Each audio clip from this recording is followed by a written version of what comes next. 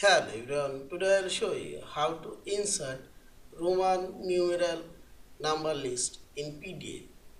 Open your PDF file and select Tools option.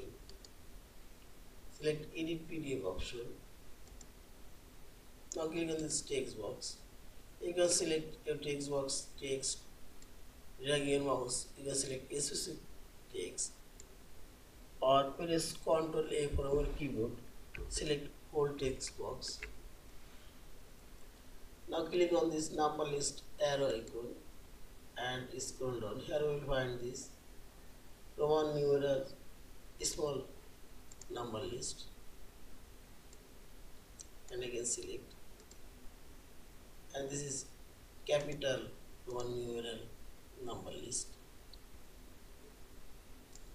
In this way you can change dot Roman numerals number list. Yeah, this is. Thank you for watching. Please subscribe, like, share and comments.